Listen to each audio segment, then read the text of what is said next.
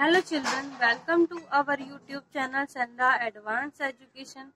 Today we will learn general knowledge of class 7th and today we will learn lesson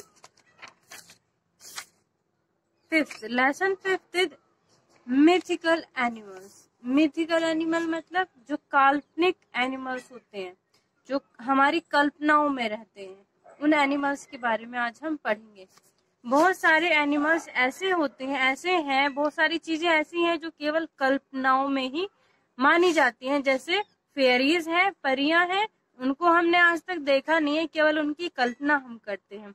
उसी तरीके से mermaid होती हैं, जलपरी। जलपरी को भी हमने नहीं देखा है, लेकिन कल्पना की जाती है कि जलपरी होती हैं और कहानियों में होती हैं, दंत कथाओं में पाई जाती हैं। इसी तरीके के और भी बहुत सारे एनिमल्स होते हैं जो दंत कथाओं में पाए जाते हैं। एक हॉर्स होता है, जो फ्लाइंग हॉर्स होता है, वो मतलब ऐसे लगता है दंत कथाओं में कि जैसे वो उड़ता है। लेकिन हमने कभी उसको रियल में नहीं देखा, वास्तविकता में नहीं देखा। तो आज के इस लेसन में हम कुछ कल, काल्पनिक कैरेक्टर्स एनिमल्स के कुछ काल्पनिक कैरेक्टर्स के बारे में पढ़ेंगे। आइए देखते हैं कि ये काल्पनिक कैरेक्टर्स कौन कौन से हैं और हम उनको कैसे किस किस तरीके से जानते हैं। Let's begin the lesson this is general knowledge class seventh lesson five and lesson five is mythical animals mythical animals आज के इस लेसन में हम माइथिकल होता है काल्पनिक. एनिमल मीन्स जानवर. आज के इस लेसन में हम कुछ काल्पनिक एनिमल्स के बारे में पढ़ेंगे. Let's begin legends and myths are the integrated parts of our art and culture जो माइट्स और लीजेंड हैं लीजेंड होती है दंत कथा माइट्स होती है काल्पनिक कथाएँ। वो हमारी आर्ट और कल्चर के एक एकीकृत भाग हैं। Read the description and identify these mythical characters using the help box.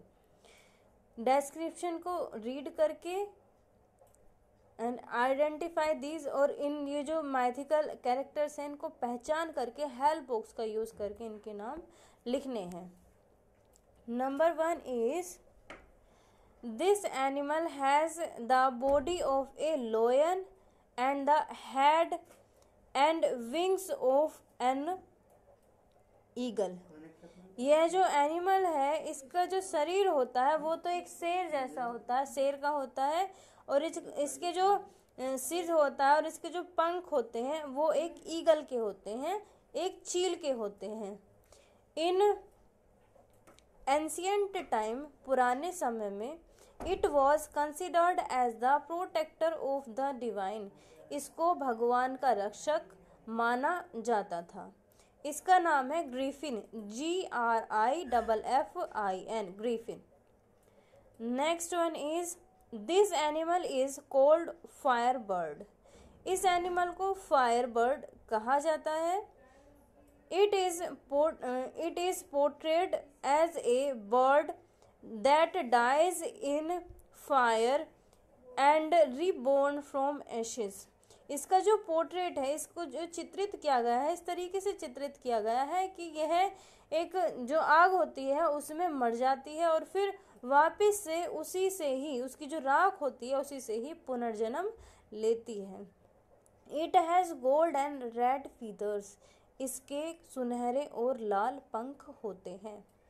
इसका नाम है phoenix P H O E N I X phoenix next one is, this animal has the body of a horse with a long single horn और is on its head ये जो animal है, इसकी जो body है, वो एक horse जैसी होती है हॉर्स की होती है and a a long single horn और एक लंबा सा एक ही केवल, एक लंबा सा हॉर्न होता है सिंग इसके सिर पर होता है this horn can naturalise poison ये जो हॉर्न है इसका, यह जो पॉइजन है उसको बेअसर करता है। Originally it had a billy goat beard lion's tail and cloven horse इस, इसकी जो है, जैसे बकरी की एक दाढ़ी होती है, इस तरीके से एक दाढ़ी सी होती है और इसकी जो पूंछ होती है, वो एक लोयन जैसी होती है। इसके अलावा इसके जो खुर होते हैं, वो दो शाखाओं वाले खुर होते हैं। इसका नाम है unicorn, U N I C O R N, unicorn. Next one is in British folk folklore, British कथाओं में, लोक कथाओं में this ocean animal is considered to be a forewarning of disaster British लोक कथाओं में इस ओशियन एनिमल को आपदा का पूर्वाभास माना जाता था। पूर्वाभास मतलब एक तरीके से कि जो डिजास्टर आने वाला है, पहले से ही चेतावनी मिल जाती थी वार्निंग मिल जाती थी। इसका नाम है mermaid. M E R M A I D mermaid. Next one is a three headed monster यह एक तीन सिर वाला मॉन्स्टर राक्षस है। With the fore part of a lion इसका जो अग्र भाग है, वो एक लोयन का है and hind part of a goat और जो पिछला भाग है, वो एक गोट का है, एक बकरी का है and goat's head rising from its back और जो गोट का हेड है गोट हेड है, वो इसकी बैक से उठता है जो इसकी कमर है, बैक है, पीठ है उससे राइज होता है, उठता है and the tail of a headed serpent और इसकी जो पूंछ है, वह एक नागिन के सिर जैसी है। सिर सिर होता है, नागिन का सिर होता है। इसकी पूंछ जो होती है slain by slain by Bellerophon's जो कि मार दी जाती है एक ब्लेरोफोन्स के द्वारा। इसका नाम है chimera C H I M E R A chimera.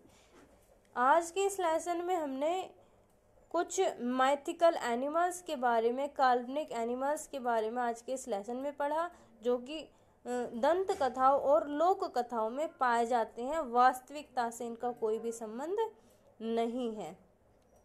अगर वीडियो आपको अच्छा लगा हो तो वीडियो को लाइक करना और शेयर करना ना भूलें।